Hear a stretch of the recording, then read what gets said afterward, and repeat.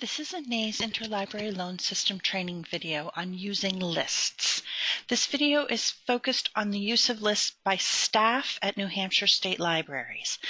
There is a video about patron-initiated interlibrary loan, which covers how patrons who have been authenticated through SIP2 can use the list functionality in the system as well.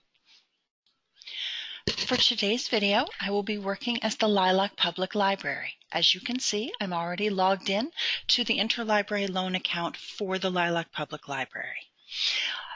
The system supports lists for each login account that has been created. So each library has uh, login accounts that were sent to their director, and each individual login, in this case NHTLILL, has a set of lists that they can create and manage.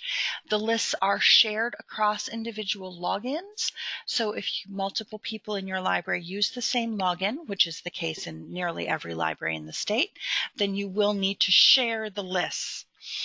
In order to access your lists, you go to this little icon up at the top that looks like a bunch of lists. The number that is indicated here, in the, this case it's a 5, is not how many items, but how many separate lists have been created for this particular login. To access the lists, I just click on the icon and my set of lists will appear. The one that will show up by default is whichever one is first alphabetically in the list.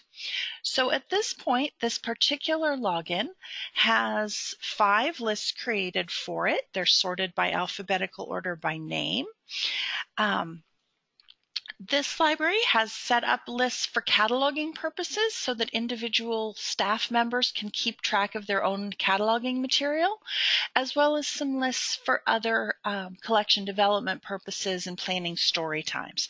You can use the lists for anything that is useful to your library, and you can have many different lists created. There are a couple of ways that you can create lists, and I'm going to walk you through your various choices, both to create them and to manage them, and how to add things to them. The simplest way to create a list is to come to the list manager, as we have done, and enter the name of a list here in the box. I'm going to create a list called Cataloging DH and click Save and it creates a new list for me. It has no things in it because I've just basically created a shell of the list, but it is now there. In order to add things to a list, either an existing one or a new one, I have a couple of options. Let's go back to the home screen. So we're kind of starting new, and we'll do a search here for squids. Those of you who've been watching these videos will see that we're very fond of squids here in NHAIS services. So in order to add an item um, to a list, I just have to find the item. Here's a new edition, it looks like, or at least a new cover of Squids Will Be Squids. From this main results page, I have a button that says List. If I click on that, I will open up a list of my lists and can add this book to any of the lists that exist. Let's add it to cataloging DH that I just created. So now cataloging DH contains this new cover for squids will be squids. In addition, I can add to an existing list from within a particular record. So let's take a look at, uh, let's go with this squids book. If I go to the actual details page of the record, I have an add to your list link here on the left hand side. If I click on that link, that same dialog comes up on the right hand side. I choose the list that I want to add it to, and my item is added. Let's go back now to our search results. And in addition to adding to an existing list, I also have the option if I go to a book and I add to my list, and this would be true whether I did it directly from the search results or from the details page, I can create a new list here. So I can make a squids list by typing the title of my new list into the box and clicking this plus sign to create the list. So what has now happened is a list called squids has been created and squirting squids has been added to it. So now we've seen different ways to create the lists and to add the lists add to the lists that we have created. Let's take a look now at some options for managing the lists once they exist. So I've gone back to my to your lists. Um, sometimes it's called my list in some of the documentation. Sometimes it's your list. They're just lists. Either name basically means the same thing. My list, your list, whoever's list. So to manage lists, we work from the list page and we can manage any specific list by choosing it from this list on the left. There's a lot, the word list comes up a lot in this training. So let's say we want to do something with our um, cataloging DH list. So I click on that list and that displays um, all of the things that are on the list over here and gives me the ability to take action on these different items. One of the things that I can do is I can move an item from a specific list to a different one. So if I want to move squids uh, from the cataloging DH list to the squids list, I just choose it there and the item moves and it tells me up here oh, that it has moved and I can say okay or that will go away after a minute. I also have the option to delete a specific item on a list. So I can do that with um, this little button that says delete next to the item. And it says, do you wish to delete this? And I say, okay, and it deletes it. So I have now moved one squid book and deleted the other from the cataloging DH list. I can also delete an entire list using this little trash can. So I can delete this list um, because there's nothing on it anyway. Uh, if I want to, I can do that with clicking the little trash can. It says, am I sure? I say yes. And now that list is deleted and I am back down to having six lists instead of seven. So the other way that I can manipulate lists is, let's go look at the story time ideas list this time. Um, I can take action on some but not all of the items. So on the on the cataloging DH list, we saw ways to act on one item at a time, but I can also act on uh, groups of items within a single list.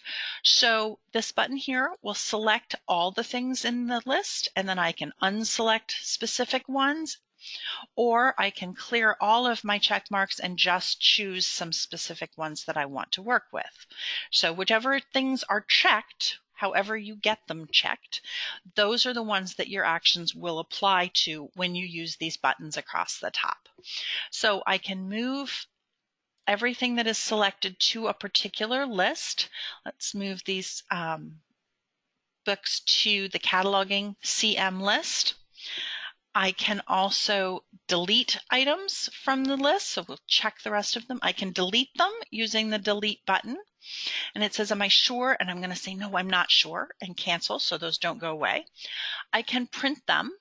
When I print them, my browser is going to pop up the printing. And in this case, my browser decided to be fussy and not let me do that. But what will happen is your whatever browser you're using will pop up a print dialog and you can print the items. I can also email the things I have checked by, by clicking on the email button when I do that, I can change the from information. So I can change this to my name spelling my name right would be good. The from address is this no reply at autographics. It must remain as it is. If you change it, then the mailing doesn't work. So at least may not work. So definitely leave that as it is. Don't change it. Just go with it. It's the from. The to address, you will put in who you want to send your email to. If you want a carbon copy or blind copy somebody, you can do that. The default uh, subject heading is your list items, but we can change it to how about these for story time Friday? And then I click the send button and I send my, I will have sent an email to the address I filled in here um, with these records attached to it. And then I can close the box here by clicking anywhere outside of it and that will make it go away. The remaining option, options that I have here are to save um, the items.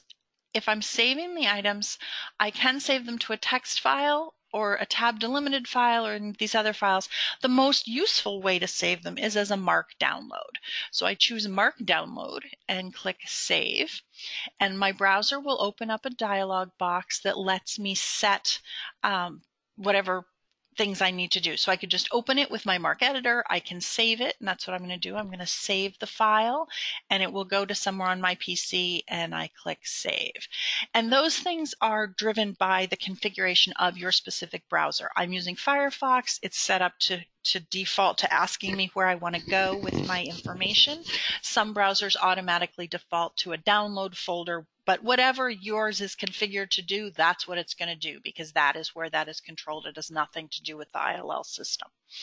Okay, my remaining option for how I can act on a batch of things is that I can move all of the selected things. Just like I could move them individually, I can also move everything that's checked to another list by um, choosing it. So I'm going to go back to the cataloging CM and take these children's books that I just moved and move them back to my Storytime Ideas list.